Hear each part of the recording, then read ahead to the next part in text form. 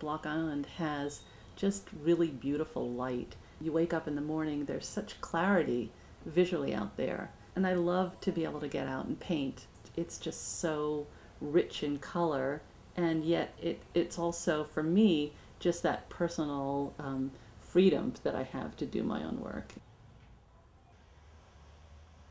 The way we've sort of divided things up was physically to have studios at the house in our carriage house and then to have our glass blowing studio. And it just helped to keep our mental state separate because you function in those studios differently. We moved here thinking that this was going to be our studio and only studio.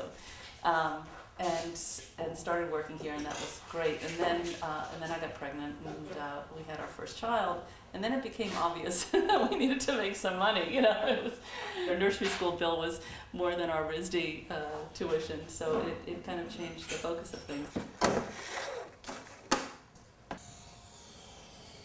The painting that I do for the most part I, I paint outdoors for several reasons but mostly because I like the immediacy uh, of seeing a scene and kind of responding to it in painting. It really is a kind of a personal visual diary.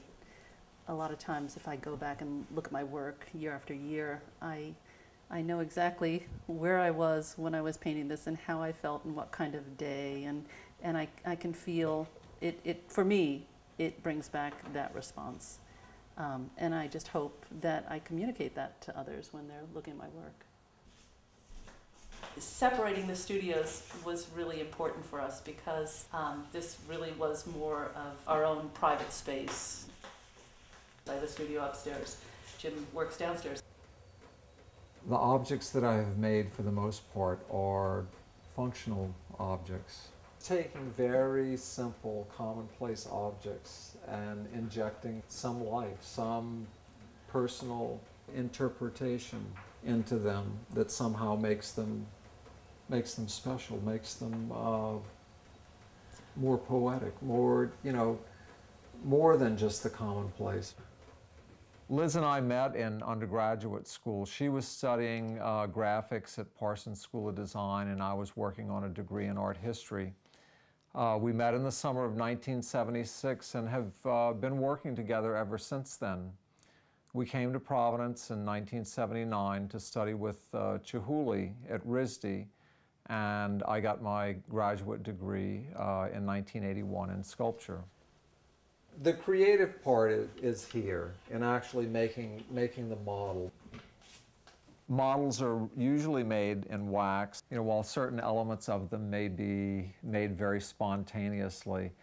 The whole composition usually takes, uh, you know, anywhere from a number of days to a few weeks to, to resolve a plaster mold will be made of the finished piece. And the wax is melted out of the mold, and then the, the mold is ready to be put in the oven and cast with glass.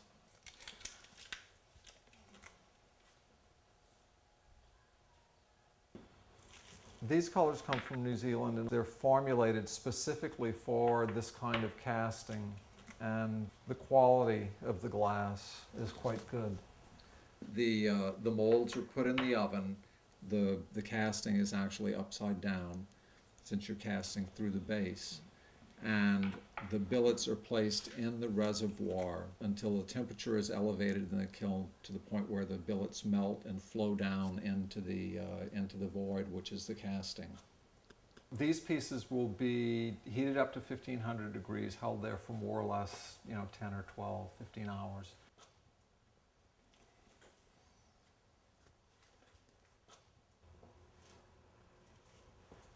You can see as they melt down, they puddle out, flatten out, and ideally then flow into the mold. And then at that point, there'll be a gradual cooling process over the course of about two weeks. After the two weeks is up, you take the molds out and you're able to break them away from the glass casting without breaking the casting itself.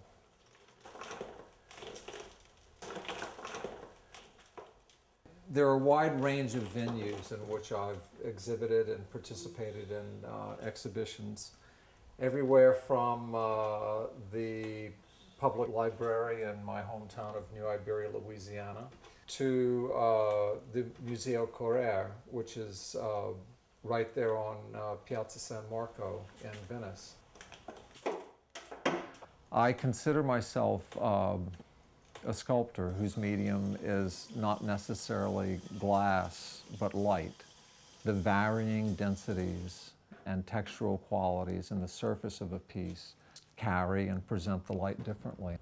That's part of the magic that attracts me to the material that I use.